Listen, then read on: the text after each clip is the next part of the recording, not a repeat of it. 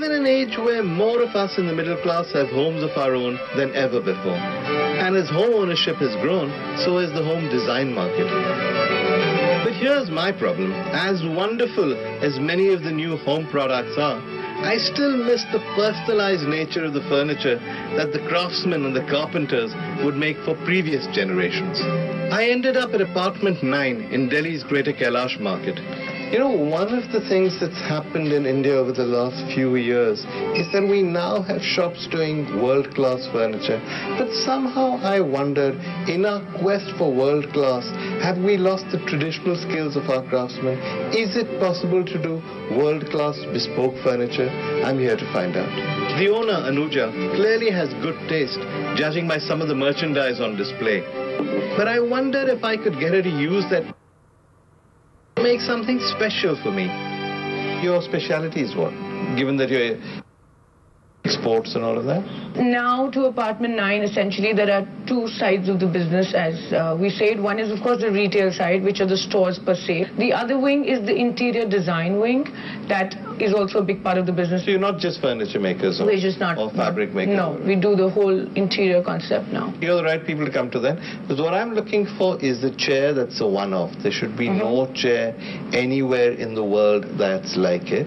It should take the principles of, say, a Chesterfield design, mm-hmm. work on them. It should have a footstool, and it should have a fabric that you've designed that's different. That's possible? Doable? Right. Yeah, it's possible to do that. We're going to start with finding the right proportion of the chair for you. Okay. And then we're going to apply uh, one of our fabrics on it, which are designed in-house. So you cannot get those fabrics So let's, let's choose the fabric. So we have a whole range of uh, fabrics and applications that we can use and do. Uh, there's of course the fabric version of it and the leather versions of it. Okay. To keep it crisp for you, I would suggest that we use the leather version on it, which is something like this, which is a leather which is further, uh, you know, there's a technique applied to it of quilting. Okay. So where we, wherein we take a pattern and then the whole fabric of the leather is quilted with it.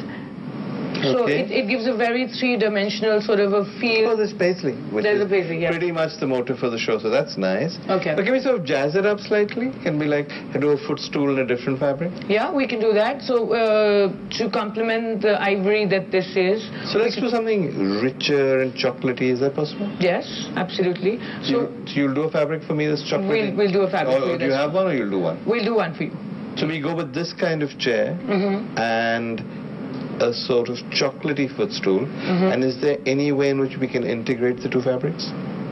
We can. Uh, what we can do is we can add some elements of chocolate on the ecru chair. Okay. So we can do it a little bit of a piping sort of a detail That'd be nice. around the So chair. it'll- so it looks And like part of the same family. Yeah, and the footstool will have the reverse wherein it's chocolate and then it'll have the ivory piping all And around. how long will this take? Ideally, a piece of furniture from start to finish takes about three to four weeks. So that's what we're looking at. That's not so bad. Yeah. Yeah. So I need to come back when? Let's say four weeks from now, Four weeks from now, I come back and you will have a chair with a footstool. Ready for you to be comfortable in. As you can see, I didn't even have to ask for the paisley. It was already part of the pattern she had in mind. Call it synchronicity or serendipity, but it seemed to me that the great paisley adventure had taken on a life of its own. And sure enough, after four weeks, when Anuja's craftsmen had done their stuff, I turned up again at the shop to check out my chair. It was pretty much as I had imagined. It looked sophisticated and luxurious. Okay, so this is it? This is it. This is what we custom made for you. You made it actually from scratch? Absolutely To that design scratch. just for me? Just for you. It's amazing. And there, within the swirls of ivory leather, was my beloved paisley motif. Wow, well, two things. First of all, it is broad. You know, mm-hmm. I could fit somebody else in it, but then I like that. I mean, space is the ultimate luxury. It's actually rare to find something that looks this good and feels so good. You know, comfort in furniture is everything now, I feel. Thanks, Anuja. It really is nice. I'm glad you like it. Yeah, it really is comfortable. Okay, so what do I really think? Well, here's what I think. I think that this would cost 80 to 90,000. It's been done to my specifications. I've chosen the fabric, the leather, the color, I've chosen the height. It's been done exactly the way I wanted to. Contrast this with the old days. If you wanted furniture of this quality once upon a time, you had to go abroad. If you went to London, this would cost at least twice as much because the quality of the leather. You would have no choice in the matter. You'd go to a shop, you'd have to buy whatever they made for you. In India, on the other hand, you can choose everything. You can choose the leather, you can choose the shape, you can choose the height. If you don't like it, they'll change it. If something tears, they'll fix it for you. That's the miracle of Indian design. It's right there at your doorstep. It's half the price. So you're crazy to go and buy things abroad when you can have them made for you, custom made in India. The one thing that Indians have always had custom made is jewelry. Ganjam jewelers in Bangalore have been in the business since the 19th century. They've made fabulous pieces for princesses and other very, very rich people through the ages. Mr. Ishwar Ganjam, one of the owners of Ganjam, brought along some samples of Ganjam's work along with some of the gems that went into the jewelry. So it's really been a family business for generations, no? Yes. Generations of dealing in stones, going to people and saying, will you get these wonderful stones? I don't think there are that many people who buy 100 carats worth of diamonds these days, are there? Oh, yes. There are? Yeah, yes, there are people Well, you've come to the wrong place because I'm certainly not going to. But can we have a look at some of those stones? Actually. Yeah? Uh, this, what I'm showing you, is uh, with flat diamonds and rubies and emeralds, Oh, great. which is mostly used for the heritage jewelry. Okay. Heritage jewelry. This is called as a cob ruby, uncut rubies. They are. Wow. They are from Burma. Can I like hold one? I mean, They are cut ones, Okay. but it's like a cob shape. There, there is no facets there. Facets Okay. are not there. But it is mostly used for a heritage jewelry. This may cost you around about, say, uh, each piece around about uh, 8,000 rupees. 8,000 rupees for each 8,000, stone. stone. Okay, I think you should put them away before I feel faint. Yeah, okay, let's look at, let's look at some more. These are, these are the emeralds. I'll probably faint when you tell me how much they cost, but you know, I have no interest in jewelry, but even I am completely gobsmacked. These are from where, sir? These are Zambian, These are Zambian emeralds. Zambian emeralds. This will be probably about, say, 40,000 rupees.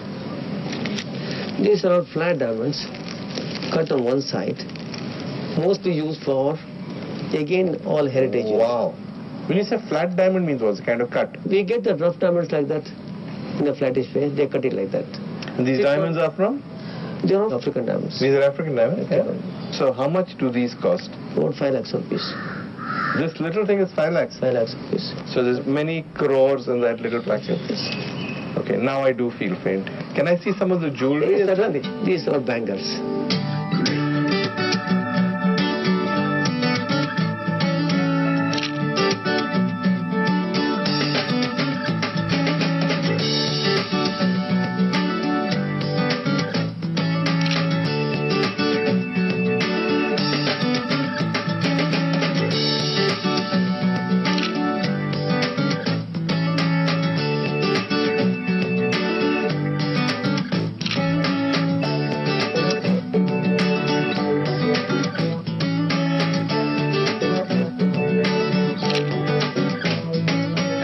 Said our goodbyes, he showed me a pin that wasn't very expensive, but was quite lovely nevertheless. It was a variation on the Paisley motive.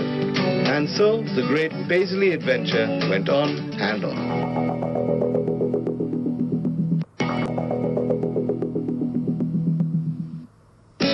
Finally, it was time to conclude the great Paisley adventure. I'd not been rich enough to afford any of Ganjam's fabulous custom-made pieces, but I did have the lamp, which looked great. I had the chair, which was not only broad enough for fat old me, but could easily accommodate another fatty. And then I had to see what Peter had come up with. Okay, so here's the moment when it all comes together. Rather than just showing you the things we commissioned in the course of this episode, I thought we'd do it in style. I'm here at Indian Accent, my favorite restaurant. We have dinner cooked by a real superstar, Manish Mehrotra, and we have the things we commissioned. We have the light installation, we have that wonderful, comfortable chair, and we have these amazing table linen, mats, and napkins, and even better, we have the guy who made it with us. Hi, Pete. How are you? Thank you. It's wonderful to be here. Shall we sort of talk about the linen first, or should we eat? Uh, we can talk about that. Okay, so let's start with this. This is truly and totally amazing. Tell me how you made it. As you can see, this is printed. Okay. Uh, in fact, this pattern we call the shawl stripe, and these booties The- the here. stripe? Shawl, shawl stripe. Like a shawl? Like a shawl. Okay. Yes. And um, of course, they're woven uh, originally. Okay. And as you can see, this color blocking here with the black and the green, uh, that would have been the warp ends uh, of the fabric. If it Uh, was actually woven. if it was actually woven, but we've and we've used that inspiration um, in this design. So, So we've how do you actually do it? Do you take a photograph and then do it, or No. How do you get this print? Uh, paint on paper, Oh, it's painted. painted in our studio. Okay. We scan the artwork, and then we work with textures and colors. As you can see, we So what are you saying? You're saying that all of this was painted by hand at some stage? painted by hand, and then you'll actually see we've we've included a twill weave effect as if it was woven, um, and that's that's done on the computer. So we mix age-old uh, processes, hand painting, um, and then we scan it and use the computer as well. Uh, So it's modern technology taking the original weave Yes. with the intervention of somebody actually painting by hand. exactly. And as Manish Mehrotra sent out some amazing dishes, Peter warmed to his subject and explained what he'd done.